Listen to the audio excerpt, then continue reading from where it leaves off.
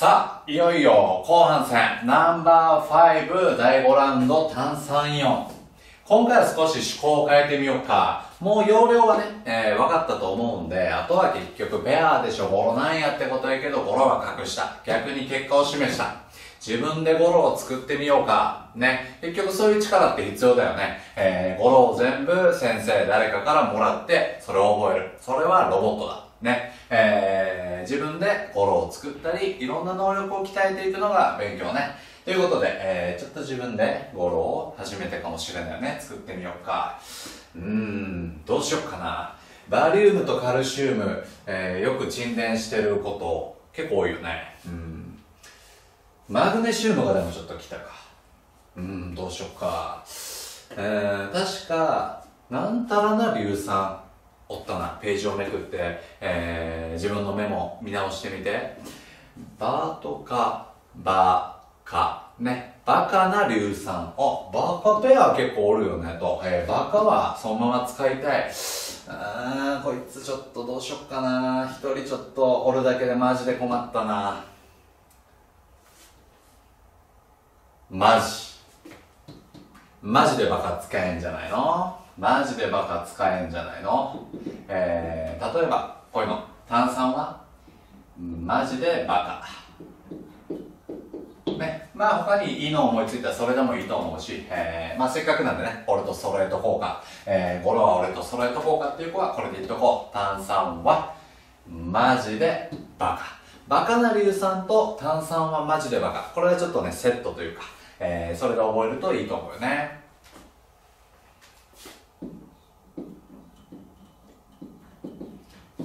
書いておくよ。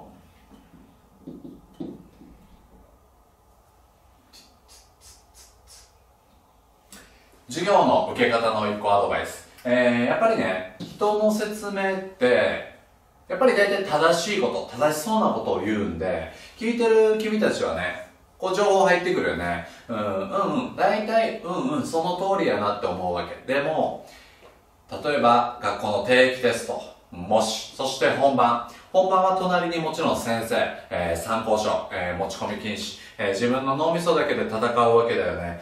お、沈殿出たわ。炭酸マジでバカやわ。よっしゃ、覚えてる。いける。えー、バカ、か、か、危ないの気づけたかな当然のようにカルシウムでしょと思ってるかもしれないけど今は。カリウムもおるよ。でもカリウムじゃないよ。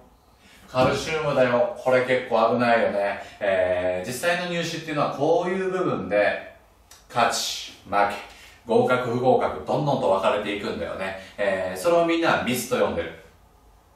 でもそれはミスじゃない。えー、それはミス対策、ミスを防止するトレーニングを1年間、2年間、えー、しなかったせいかもしれないんだよね。実際にはそうです。だから、ミス防止力事前にこんなミスしそうだなしないようなトレーニングしよう。これをねミス防止力と言います。これを鍛えといて絶対損はない。意識しとくだけで違ってくる、えー、なのであるちょっとしためっちゃ使える裏技を教えてあげましょう。さっきもなんかなんたらじゃないよなんたらだよってあったよね。それをもう一回見直してみて戻って。プリント自分のメモ戻ってみて。確かこれだよね。バカセットでちょっと2つ一緒に覚えようなって言ったけど硫酸のところバカな硫酸のバワバリウムだ。カワカルシウムだ。名はなんだ？なトリウムでもなかったよね。なのでさっきねちょっとメモできてないかもしれないので、えー、これ書いとこうか。うんと名はナトリウムじゃないよっていうのをしっかりメモに残しといて。そして名は鉛なんだよ。こうじゃないよこうだよまで意識して覚えるとさっきの、えー、ミス起こらなくなると思う。ね。えー、まあ俺はこれをね not bad って呼んでる。not bad って呼んでる。英語であるよね。こうじゃないよこうだよ。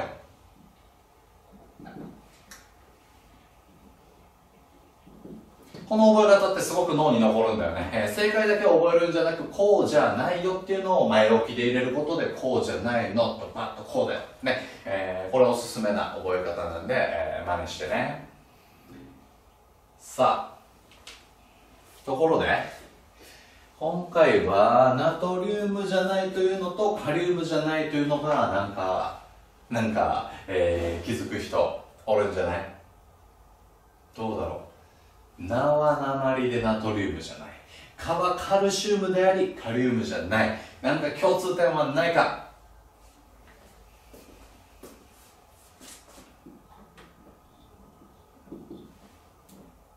カルシウムだって。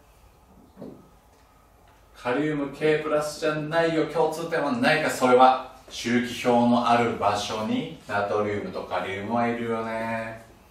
ここが周期表だとするとエッチでリッチな母ちゃん。エッチでリッチな母ちゃん、えー、要はナトリウムカリウムは一族なんだよね。一族は沈殿しない。これが便利なイケてる必殺技。沈殿をやるときに一族は沈殿しない。これを覚えておこう。カリウム一族。ナトリウムも一族。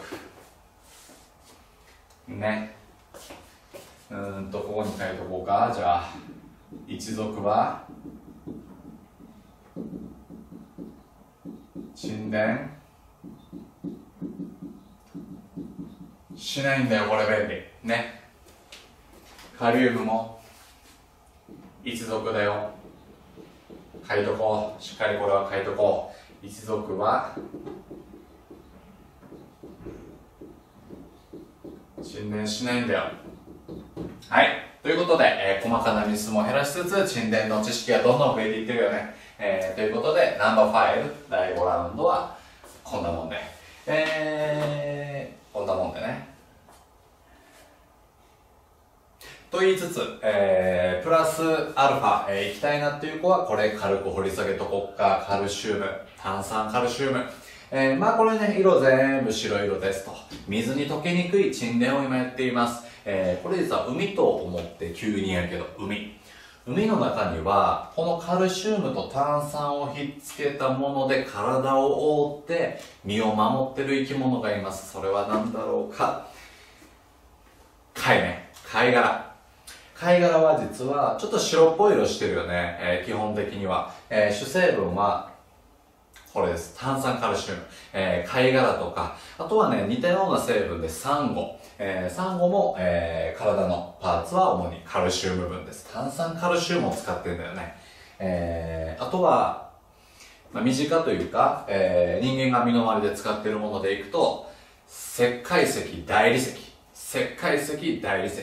えー、こういうものも全部炭酸カルシウムなんだよね。えー、まあ、大理石、見たことないっていう子は、あの、タージマハルってね、えー、スマートフォンで、スマホでググってみて、タージマハル。もう全体が真っ白な、綺麗な建物です。えー、あれは、大理石、オール大理石で作られてる。ね。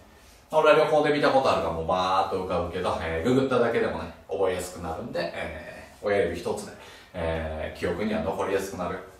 やっとこうということで第5ラウンドは本当に終わりね第6ラウンドそして第7で沈殿は全て終わり。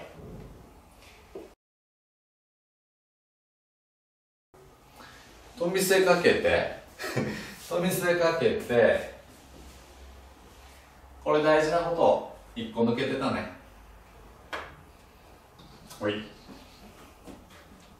何加えたらのコーナー？これ意外と大事なの。問題集とか入試問題解くようになったら分かる。よいしょ。さあここ何加えようか。うん炭酸イオンだもんね。それは炭酸でしょう。うんそれは実はねブーなんだよね。まあ炭酸ってね、まあ、例えばコーラとかに入ってるやん。ねあれ。でもあれってちょっと振ったりキャップを吸ったわけでもプシュってあれね、分解してるんだよ。えー、二酸化炭素と水にね。科学では炭酸は不安定、えー、壊れやすい、分解しやすい、二酸化炭素と水に分かりやすい。えー、ということで炭酸って意外と、えー、炭酸としてはあまり出てこないんだよね。えー、なので炭酸を含む別の物質で今回は、えーぶえー、ぶっ込みます。それは炭酸アンモニウム。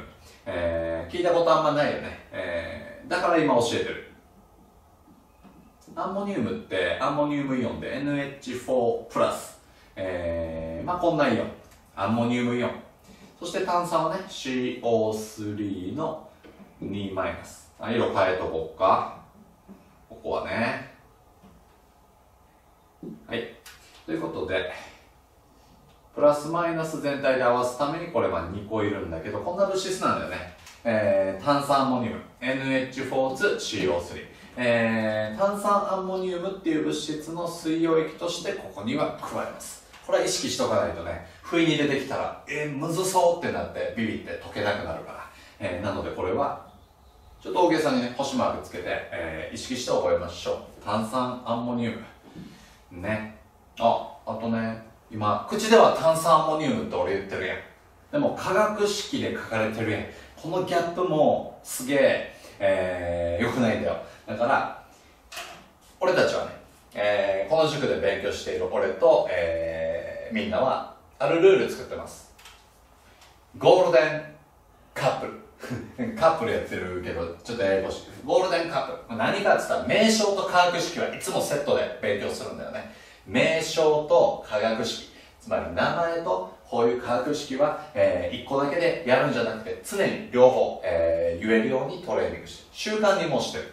ね、えー、それすげえ大事なんで書いとくよ炭酸。アンモニウムね、えー、名称と化学式は1個だけではダメですよ。ね。なんか沈殿の内容より熱くなってるんか、えー、実際にはこれが勝敗を。勝ち負けを君たちのね。勝ち負けを決めるから、ね、こういうところすごいエネルギー使ってます。ね。ということでようやく終わりね。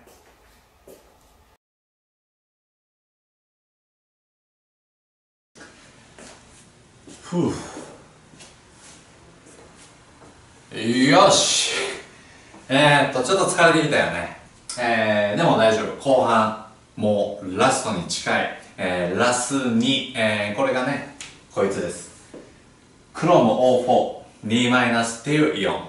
ちょっと今までよりも見慣れない子がね、多いんじゃないかなっていうので、それ自体ね、えー、結構難しく感じちゃうんで、クローム O42- 3回言っとこう。はい、1回目。クロム O4、2マイナス。どうぞ。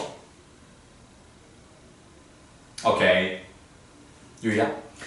2回目。えー、クロム O4、2マイナス。どうぞ。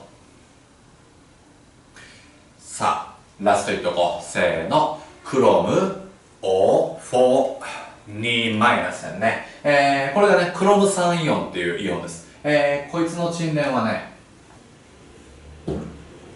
まずは銀。こいつが沈殿します。クロムの O4 の2マイナスとつまりカップルを作るということでプラス1でちょっとマイナス2なんでここ注意で、えー、銀2人い。るなので A 字強調しとこ2、えー、クロムの O4 を沈殿と。えー、忘れないうちに色あります。こいつはね。色があります。赤っぽい色。赤褐色。まあ赤褐色でいいけど赤褐色。赤褐色。あえて赤褐色と言っておこうか。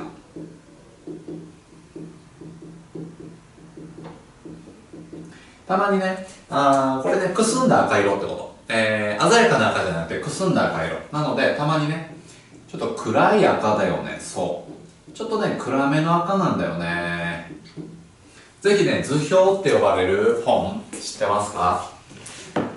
例えばこういう感じね。こういうものがあれば見とくのがいい。ね。ぜひとも見とくのがいいよ。例えば向きのページをいろいろめくっていくと大体こういうページがあります。なんとなくいっぱい色乗ってるでしょ？試験管がいっぱいあってね。こんな感じ。どうやろ見えてるかな。これであるえー、行くとねここなんだよね。ちょっとね見えにくいかもしれないけどこいつ。こいつですこれ。ちょっとほら血がねなんか濁ったというか暗めの赤だよね。こういうのが赤褐色。暗赤色とも言うけど。私まあ上の方がよく出てくるんで上でひとまず覚えましょう。でも入試問題で下できた時になんやこれってならないように両方覚えましょうと、えー、まずは銀、えー、次か。バリウム彼も沈殿するね。クロモー4 2マイナスと、えー、なので今回はバリウムの2プラスと2マイナスなんでそのままガッチャンコ沈殿ペアつまりカップルを作る。カップルを作る。バリウムクロム O4 はい。色は？ミニオン色ね。黄色。ちょっと黄色ないんでオレンジで塗ってるけど黄色です。ね、まあ、クロム酸バリウムという沈殿になるんだよね色は黄色はいそして銀バリウム最後は名がつくやつだ。名がつくやつやなななトリウムじゃなくて一族は沈殿しないからね。鉛の方だ。こいつが最後沈殿するやつです。カップルは最後こいつ。うん鉛。2プラスと2マイナスなんでそのままガッチャンコ BB クロム O4 はい色はこ,、えー、こいつの色はまたもやこいつね黄色。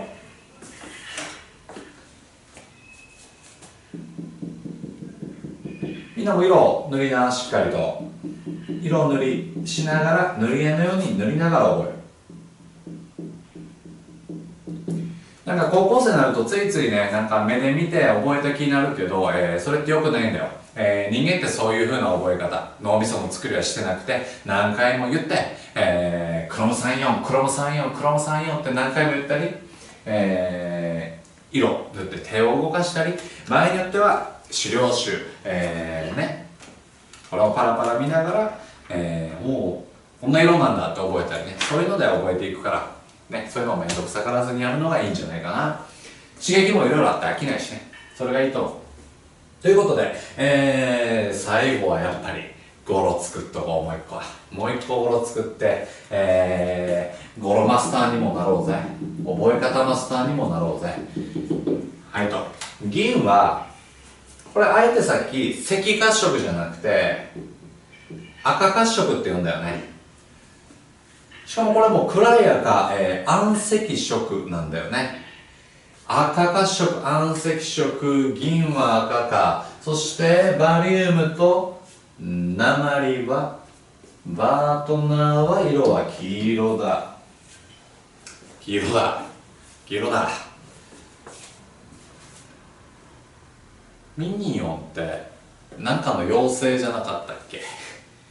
えー、バーバナナやね、えー、黄色やしバナナ使えんじゃないの？ギニアのバナナは黄色いんじゃないの？えー、そういうことで。ラストは俺がすぐ言っちゃってごめんね。えー、ギニアのバナナはなんと黄色色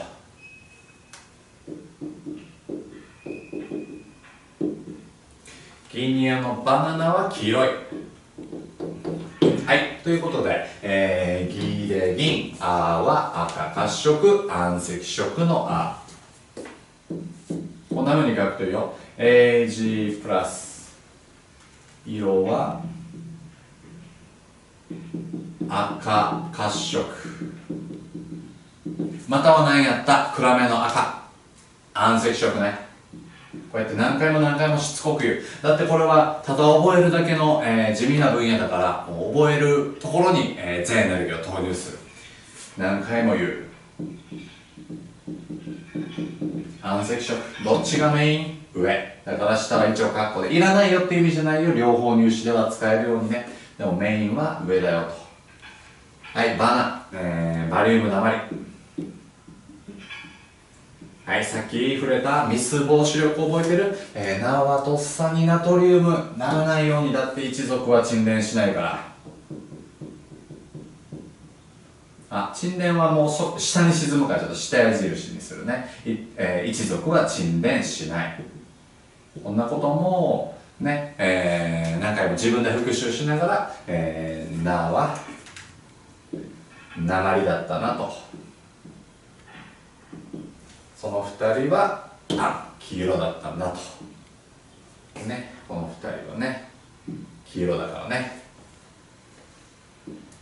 はいということで、えーと、ほとんどこれで沈殿が終わったんでラストがちょっとややこしいボスがいてね、えー、予告編になるけど S の2マイナス、えー、まあ硫黄のイオンなんだけど S の2マイナス硫黄のイオン、まあ、硫化物イオン。こいつはかなりちょっと特殊で癖のある、えー、最後沈殿になるので、えー、ちょっとね、えー、疲れた人は休憩を挟んでから、えー、気合入れてね見れば沈殿全部がこれで終わるんで、えー、最後これ、ね、理解して、えー、覚えて何回も口ずさんで、えー、沈殿真っ青になってください。